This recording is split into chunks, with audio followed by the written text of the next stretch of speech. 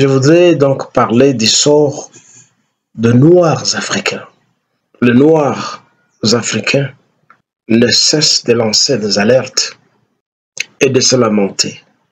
Ils ne cessent d'accuser et de dénoncer la maltraitance contre les Noirs africains qui travaillent ou qui vont chercher du travail dans le monde arabe, donc chez les musulmans. Beaucoup, beaucoup de dénonciations, beaucoup d'accusations contre les Libanais, contre les Iraniens, contre les Égyptiens, contre ceux-là qui sont richissimes à Dubaï. Comment est-ce qu'on balance du haut des étages des domestiques noirs par leurs employeurs?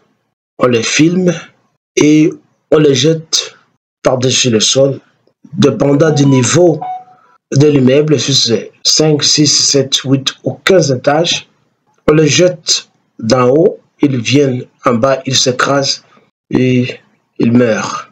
Eh bien, ça fait un peu longtemps que les Libanais, surtout la communauté libanaise, est parsemée en Afrique. Elle est nombreuse dans de nombreux pays africains. La Côte d'Ivoire, le Libéria, Sierra Leone, le Gabon, la Guinée, le Congo-Brazzaville, le Congo-Kinshasa, n'en parlons pas. Où ils se comportent en conquérants. Ce sont des conquistadors. Que ce soit chez eux, dans leur pays, au Liban ou à Dubaï, les Arabes maltraitent les Noirs. Et que ce soit chez nous, pour ceux-là qui ont immigré chez nous en Afrique, la pratique reste immuable. C'est la même chose. Combien d'histoires n'apprenons pas au Congo-Kinshasa, par exemple, ou les Indiens Dans certains restaurants des Indiens, les Indiens versent leur sperme dans les charma, euh, ce qu'ils appellent ce shawarma, que les Congolais malheureusement mal, prononcent mal en disant shawarma, mais c'est le shawarma. Ils versent le sperme et ils vendent ça. Ils urinent et ils vendent ça. Et ceux-là qui travaillent chez eux reçoivent de petits salaires de misère et ils n'ont aucun endroit où aller se plaindre. Et s'ils osent se plaindre quelque part, ils n'ont pas de défenseur, ils n'ont pas d'avocat et tout inspecteur de travail qu'on peut envoyer sera vite corrompu par l'employeur.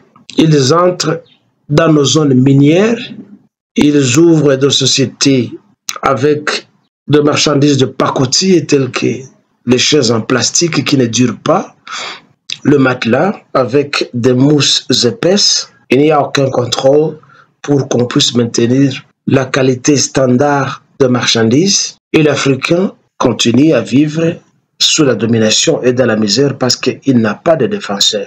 Où se trouve la mémoire de l'Afrique A-t-on oublié que pendant sept siècles, avant que les Occidentaux n'arrivent sur notre continent et inaugurent l'esclavage et la traite négrière, l'arabe, le musulman avaient pratiqué dans l'impunité déjà l'esclavage et la traite négrière pendant sept siècles.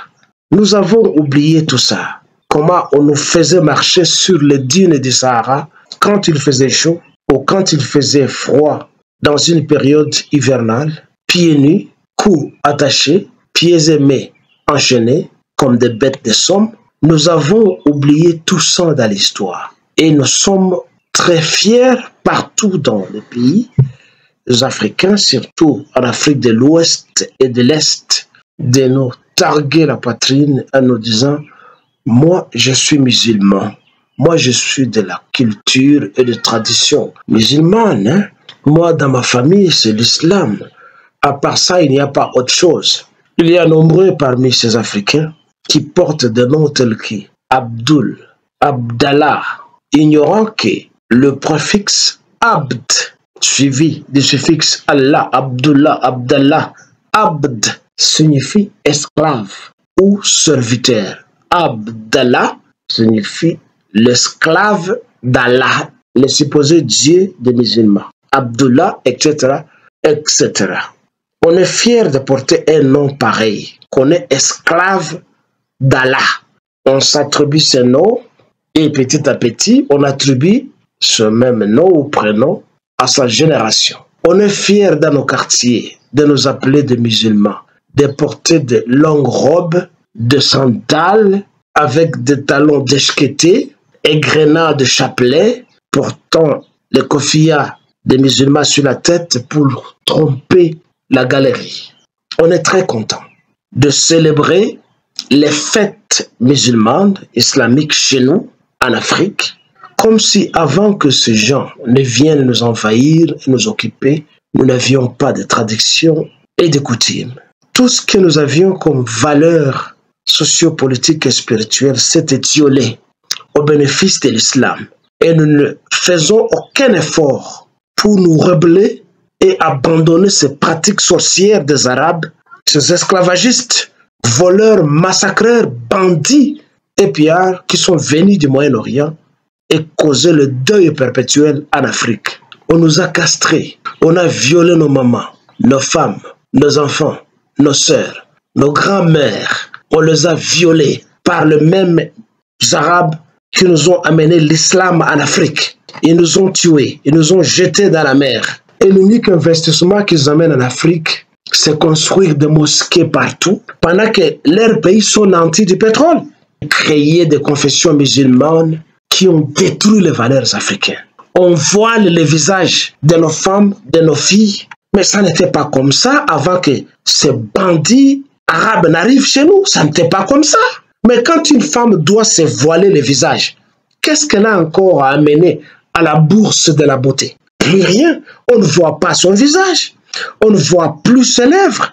On ne voit pas l'expression de son visage. On ne voit pas à quoi ressemble son nez. On ne voit plus les formes de sa corpulence pour voir les curvilines, tout ce qu'elle a, comment nos femmes africaines sont, parce que nos femmes africaines sont belles. Elles deviennent comme des monstres, des épouvantails dans la rue, tout est caché. Elles sont voilées. Mais pourquoi on doit voiler nos femmes? Quel est le mal qu'elles ont fait pour qu'elles soient voilées? Qu'est-ce que l'homme musulman ne veut pas que l'autre homme voie pour que la femme doit être voilée? Quand une femme doit cacher son corps, qu'est-ce qu'elle va encore donner? Comment est-ce qu'on va l'aimer? Comment est-ce qu'on va l'apprécier? Je demande aux Africains de cesser d'aller chercher de l'emploi dans le monde arabe parce que les Arabes ne nous considèrent pas les musulmans, les islamistes en général, ne nous considèrent pas comme étant des êtres humains au même titre que c'est une réalité qu'il ne faut pas rejeter. Les valeurs islamiques, les valeurs musulmanes ne sont pas des valeurs africaines. Ce sont des valeurs des esclavagistes, des bandits, des terroristes, des voleurs et des menteurs et qu'ils doivent foutre le camp, rentrer chez eux au Moyen-Orient avec leur Allah, leur Mohamed qui n'a jamais existé et leur Allah qui n'a rien à voir avec l'Afrique. Où était Allah et Mahomet quand on est venu maltraiter les Africains en Afrique? Allah ne voyait pas que les Africains étaient des êtres humains si c'est lui qui nous a créés. Où était Mahomet? Quand on est venu nous truander chez nous, Mahomet ne savait pas, lui qui était chef de guerre, ne savait pas que nous nous étions des êtres humains. Ils sont venus en Afrique pour piller, pour voler, parce que ce sont des voleurs. Alors quand les Libanais viennent chez nous et nous les accueillons, ça prouve combien de fois nous acceptons le statut d'esclave. Partout où ils osent venir en Afrique, chassez-les. Ils doivent détaler et rester chez eux. Ne les accueillez pas chez nous en Afrique parce qu'ils sont mauvais.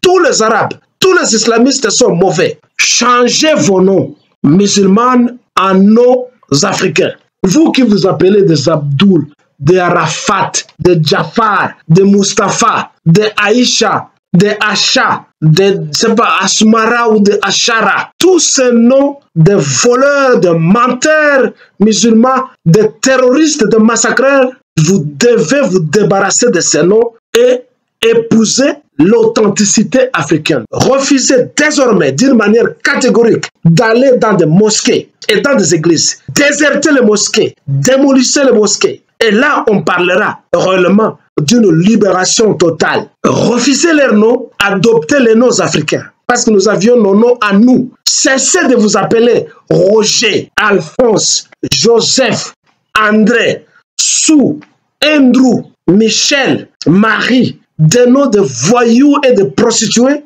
qui n'ont presque pas de sens. Qu'est-ce que signifie André? Ça signifie quoi? Vous devez donc lutter pour reprendre l'authenticité africaine et la, spiritualité, africaine. Abandonner les noms des Arabes, des musulmans et les noms des Occidentaux.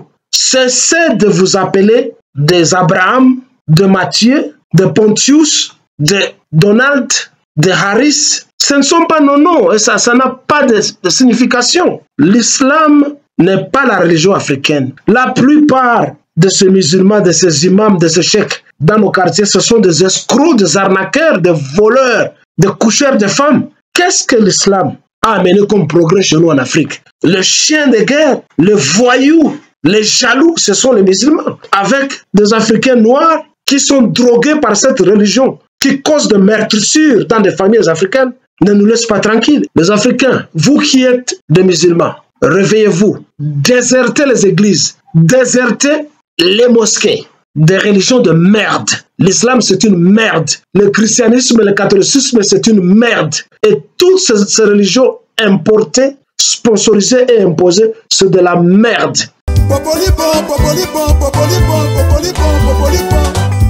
bokota na bapalin badiaspora bokota na bapalin bakombata bokota na palin bacongolais boza monde entier na 5 continent mokili mobimba bosabone na congo dialogue info ya sur eye kopesa masolo.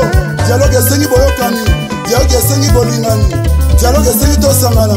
Biso nyonso bacongolais toza na monde entier. Tosabone na congo dialogue info. Esika nini bokomona mwana mwasi oyo aye na idéologie francine ngembe! Bon week-end à tous les Africains. Bon week-end à tous les Noirs euh, africains. Excusez-moi, je vais dire que je sois un peu raciste, mais ce n'est pas mon intention d'être raciste. Je voudrais donc parler du sort de Noirs africains. Alors, pour tous ceux-là qui sont accros à l'actualité ces derniers temps dans les réseaux sociaux,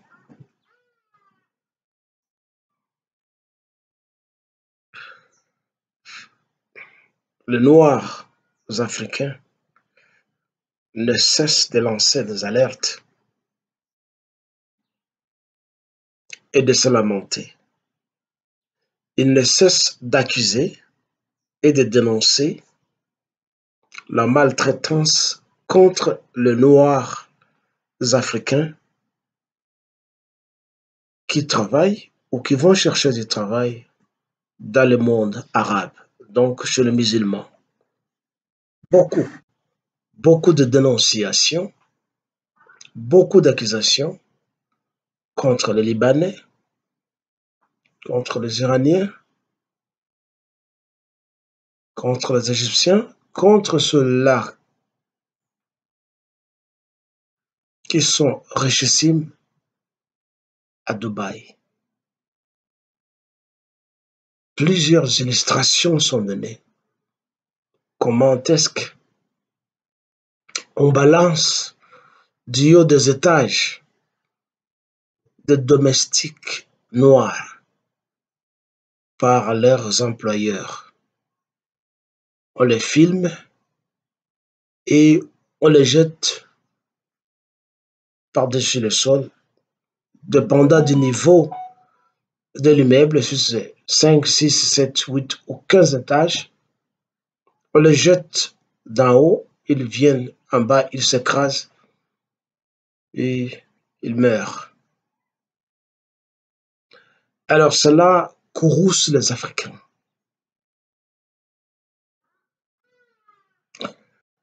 À cela s'ajoute une autre accusation et un reniement de la communauté libanaise en Afrique avec la guerre entre la Palestine et Israël, cette guerre qui s'est étendue dans d'autres États arabes, entre autres l'Iran et le Liban, certains Arabes se trouvent en situation d'insécurité et ils veulent immigrer ailleurs. Et les continents d'immigration, c'est surtout chez nous, l'Afrique, où ils veulent tous se déverser pour venir y habiter, fouillant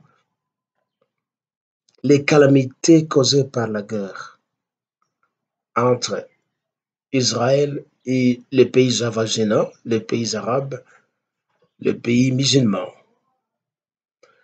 Eh bien, ça fait un peu longtemps que les Libanais, surtout la communauté libanaise, est parsemée en Afrique. Elle est nombreuse dans de nombreux pays africains. La Côte d'Ivoire, le Libéria, Sierra Leone, le Gabon, la Guinée, le Congo-Brazzaville, le Congo-Kinshasa, n'en parlons pas, où ils se comportent en conquérants. Ce sont des conquistadors.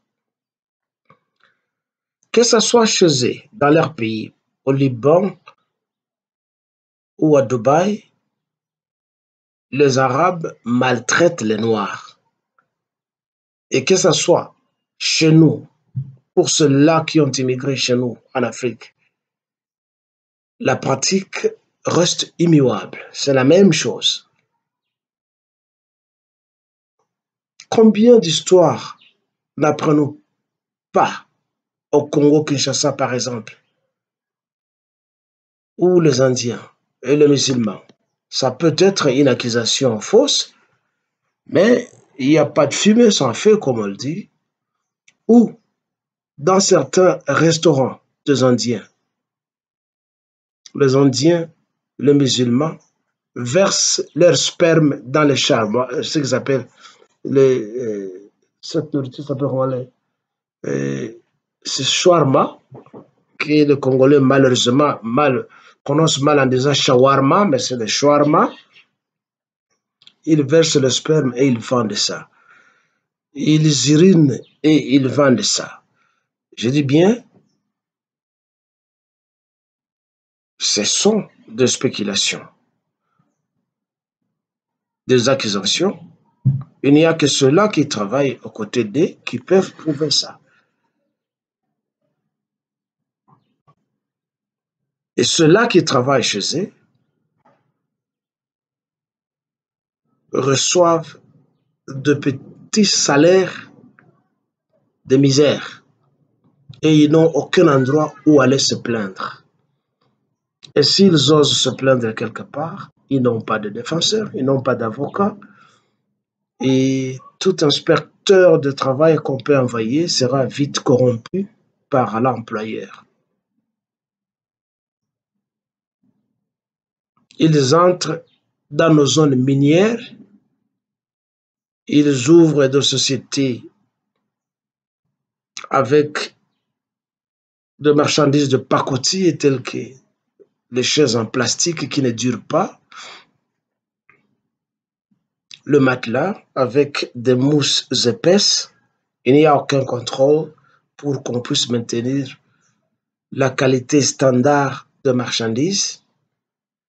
Et l'Africain et le Noir continuent à vivre sous la domination et dans la misère parce qu'il n'a pas de défenseur. Mais la question que je me pose est que où se trouve la mémoire de l'Afrique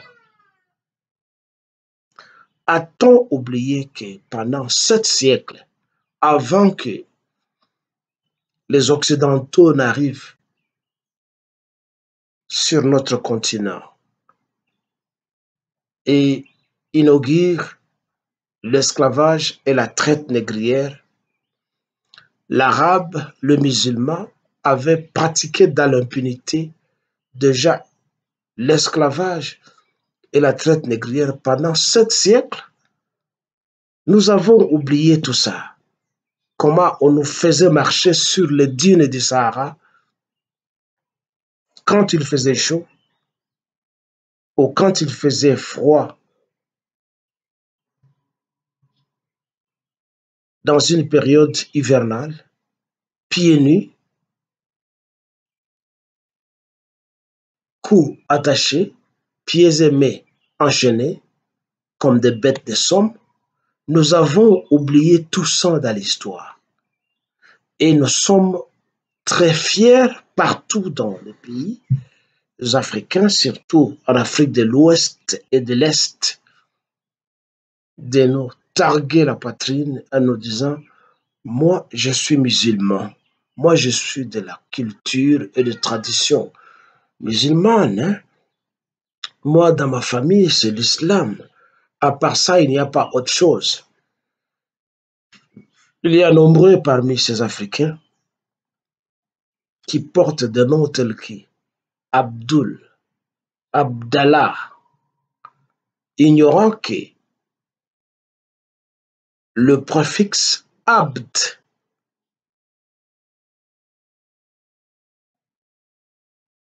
suivi du suffixe Allah, Abdullah, Abdallah, Abd signifie esclave ou serviteur. Abdallah signifie l'esclave d'Allah, le supposé Dieu des musulmans. Abdullah, etc., etc. On est fier de porter un nom pareil, qu'on est esclave d'Allah. On s'attribue ce nom et petit à petit, on attribue ce même nom ou prénom à sa génération. On est fier dans nos quartiers de nous appeler des musulmans, de porter de longues robes, de sandales, avec des talons déchiquetés, et grenades de chapelet, portant le kofia des musulmans sur la tête pour tromper la galerie. On est très content de célébrer les fêtes musulmanes, islamiques chez nous, en Afrique,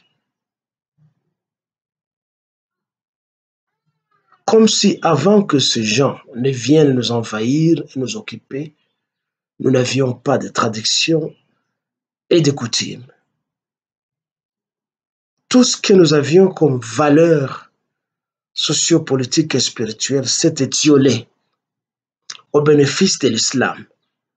Et nous ne faisons aucun effort pour nous rebeller et abandonner ces pratiques sorcières des Arabes, ces esclavagistes, voleurs, massacreurs, bandits et pillards qui sont venus du Moyen-Orient et causer le deuil perpétuel en Afrique. Nous avons oublié tout ce qu'ils nous ont fait. Nous ne sommes même pas capables de demander des réparations pour tout ce qu'ils nous ont fait. Par contre, nous fraternisons avec eux en nous appelant frères musulmans. Un frère musulman, ignorant qu'ils ne nous considèrent pas comme étant des êtres. Parce que s'ils nous considèrent comme étant des êtres, ils ne viendraient pas chez nous pour nous attraper comme des animaux dans la brousse et faire de nous des bêtes de somme pour travailler pour eux.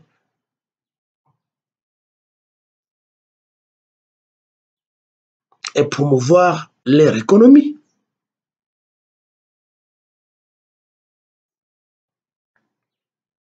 On nous a castrés, on a violé nos mamans, nos femmes, nos enfants, nos sœurs, nos grands-mères. On les a violés par les mêmes Arabes qui nous ont amené l'islam en Afrique. Ils nous ont tués, ils nous ont jetés dans la mer. Et l'unique investissement qu'ils amènent en Afrique, c'est construire des mosquées partout, pendant que leurs pays sont nantis du pétrole. Pourquoi ils ne viennent pas construire des universités indépendantes, pas des universités islamiques, des universités indépendantes? N'ayant pas de lien avec l'islam. Pourquoi ne viennent pas investir chez nous? Pour la construction de grandes infrastructures et la promotion des économies en Afrique, par où ils peuvent aussi tirer des intérêts, mais par contre, ils ne font que la promotion de, mosquées partout et de la vente de leurs artefacts islamiques, le chapelet, les boubous, les sandales, les kofias et tout ce qui s'attache à l'islam et créer des confessions musulmanes qui ont détruit les valeurs africaines. En Afrique, on ne se marie plus comme on le faisait à l'époque. Si il faut enterrer les gens, ben on vous dit il faut que le cadavre soit orienté vers la Mecque.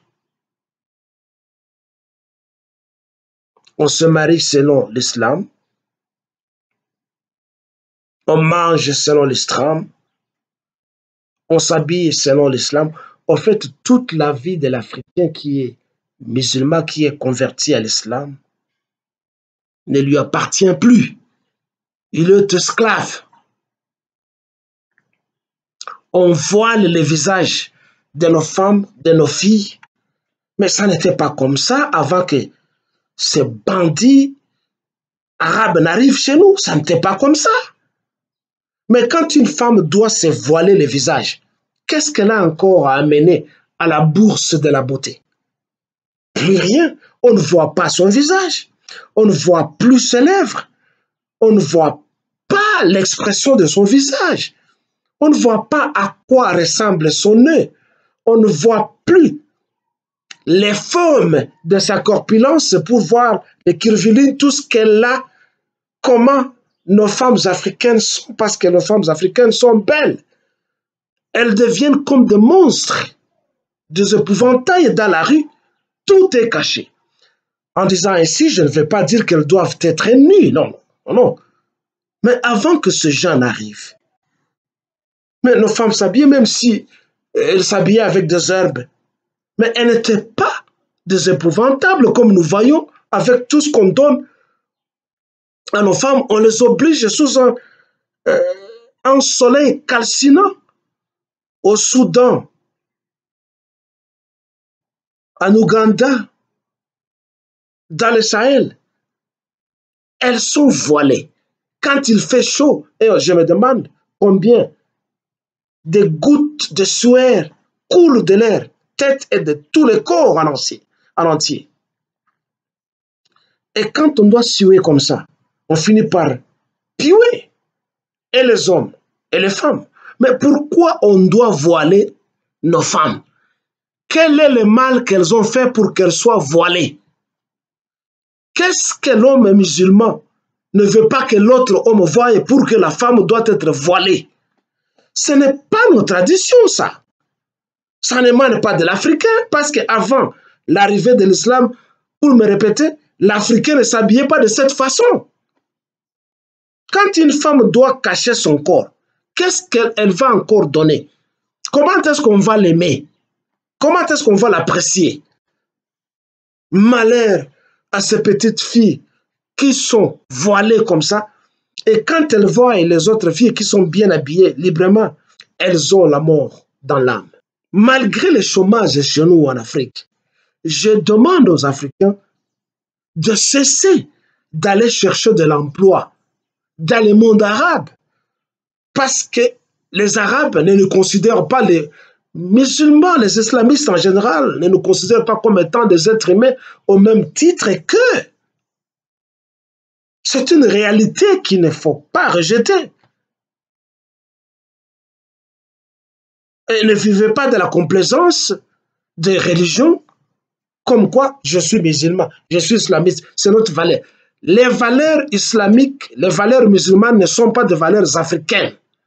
Ce sont des valeurs des esclavagistes, des bandits, des terroristes de voleurs et de menteurs et qu'ils doivent foutre le camp, rentrer chez eux au Moyen-Orient avec leur Allah, leur Mohamed qui n'a jamais existé et leur Allah qui n'a rien à voir avec l'Afrique.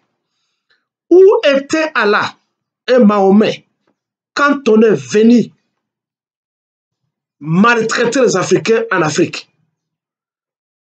Allah ne voyait pas que les Africains étaient des êtres humains si c'est lui qui nous a créés. Où était Mahomet? Quand on est venu nous truander chez nous, Mahomet ne savait pas, lui qui était chef de guerre, ne savait pas que nous nous étions des êtres humains. Si lui avait un conflit avec les Juifs chez eux là-bas, mais ça devait se limiter là-bas, ils sont venus en Afrique pour piller, pour voler, parce que ce sont des voleurs tous les musulmans. Alors, quand les Libanais viennent chez nous et nous les accueillons, ça prouve combien de fois nous acceptons le statut d'esclave. Notre, ils bénéficient de notre hospitalité, de notre solidarité. Aujourd'hui, ils nous, nous demandent, oh les Africains, vous êtes nos frères, soutenez-nous dans, dans cet état de guerre. Partout où ils osent venir en Afrique, chassez-les. Ils doivent détaler et rester chez eux. Ne les accueillez pas chez nous en Afrique parce qu'ils sont mauvais. Tous les Arabes, tous les islamistes sont mauvais. En plus, devons-nous faire pour nous libérer Nous sommes à l'époque de la révolution culturelle et de la véritable révolution. À l'époque des, des des indépendances de 1960, ça a été de demi-indépendance l'indépendance ou les indépendances n'étaient pas achevées. Il restait quelque chose parce que 60 ans ou 65 ans après, avec la France-Afrique, la colonisation, l'esclavagisme a continué. Mais alors, qu'est-ce que nous devons faire? Surtout vis-à-vis des esclaves, des, religions. Changez vos noms musulmanes en noms africains. Vous qui vous appelez des Abdul, des Arafat, des Jafar, des Mustafa, des Aïcha, des Asha, des pas, Asmara ou des Ashara, tous ces noms de voleurs, de menteurs musulmans, de terroristes, de massacreurs, vous devez vous débarrasser de ces noms et épouser l'authenticité africaine. À l'époque, il y a eu un dictateur africain qu'on a appelé dictateur, mais il avait parfois de bonnes idées. L'ancien président du Congo, Max Zahir, le maréchal, il est mort maréchal, n'était pas, il n'était pas né maréchal. Mobutu Sese Kukungwendo Azabanga, il avait parlé du recours à l'authenticité, où il avait demandé aux Africains d'adopter leurs noms africains parce que aucun occidental, aucun arabe moyen-oriental, aucun asiatique, etc., ne prendra jamais un nom africain. C'est une réalité. Et pourquoi nous nous voulons, nous devons être en fait fiers dans la peau du moyen-oriental, de l'occidental, alors que eux ne veulent pas adopter nos valeurs. C'est nous qui devons toujours consommer toutes les ordures qu'ils amènent chez nous. Parce que l'islam, c'est une ordure. Le christianisme, c'est une ordure. Il n'y a pas longtemps, je pense le 14 ou le 1er euh, euh, euh, octobre, l'entre guillemets, le saint des saints de l'Église catholique, le pape François et son Église a demandé pardon aux Africains demandez-vous, combien de siècles après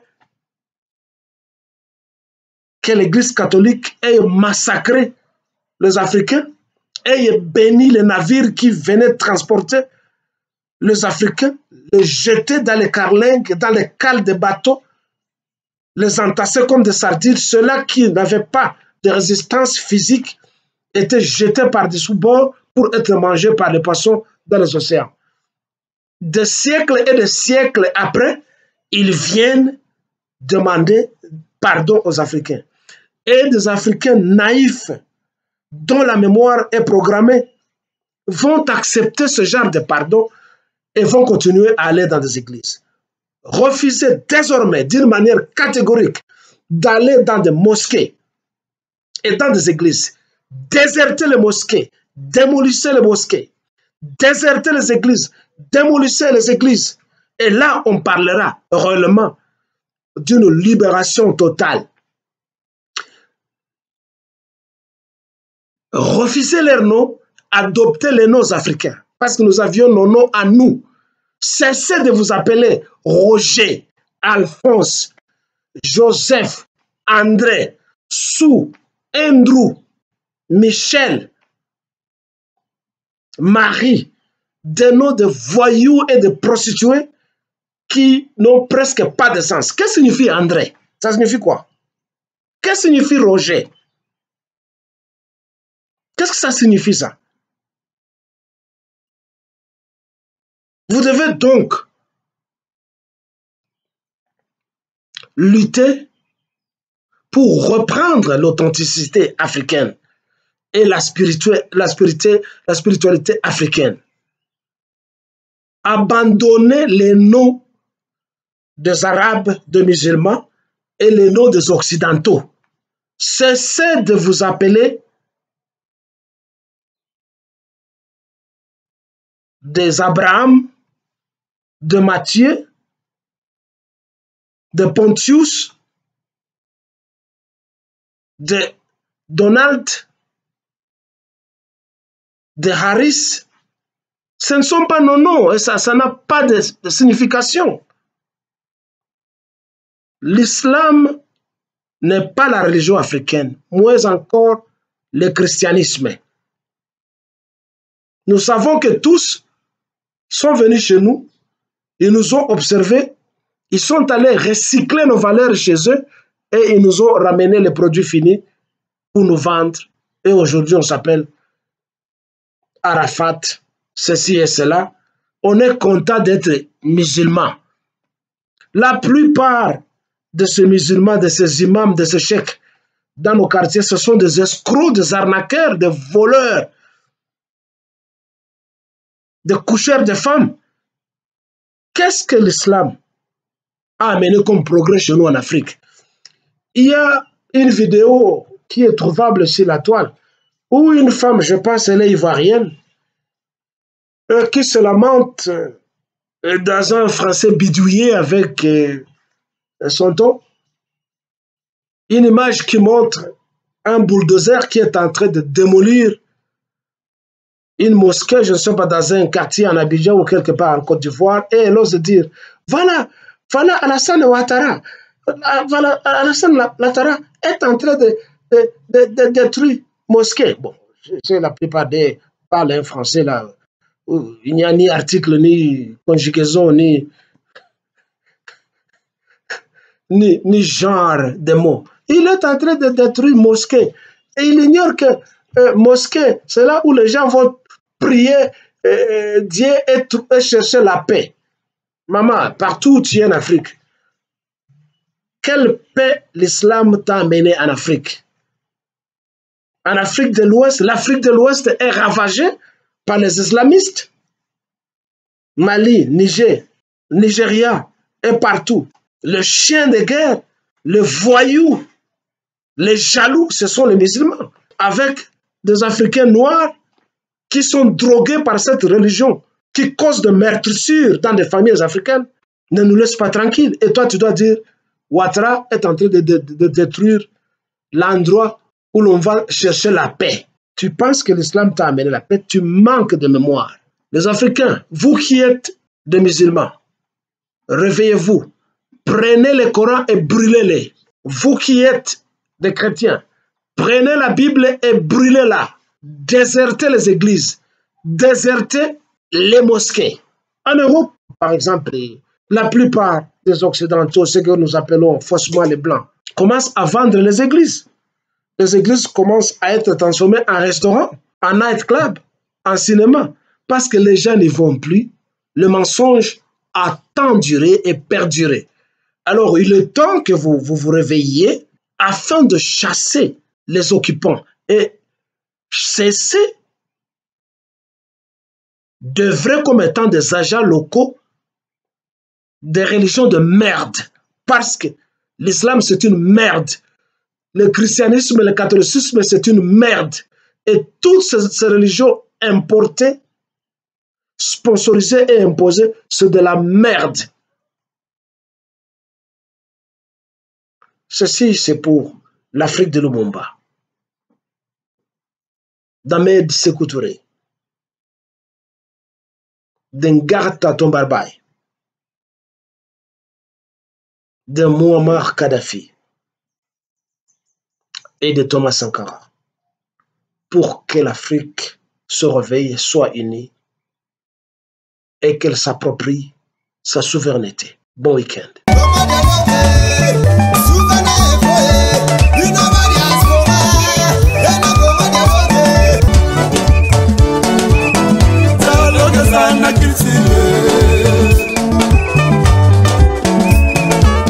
Oye na société basociété ebele boyokana eza te. Tokóma na bafoye na bafoye ndenge moko. Papa na mama dialoge eza te. Ekóma lobi mwana abimi faser akimi ndako mwana akómi na balabala mwana komolala na wenze. Mpona nini? Dialoge eza te na bafoye omoni lelo mindele basanganaki basali ero mbongo ekomi makasi mpo na dialogue. Dialogue nde esali dollar lelo esala makasi. Dialogue nde esali lelo livre sterling ezala makasi. Yango moni dialogue eza nécessaire na vie na biso. Dans tout ça dialogue eza unitaire. Tcha chikicha congo dialogue. Congo dialogue congo dialogue. Tosaboni biso nyonso na congo dialogue. Sérieux tie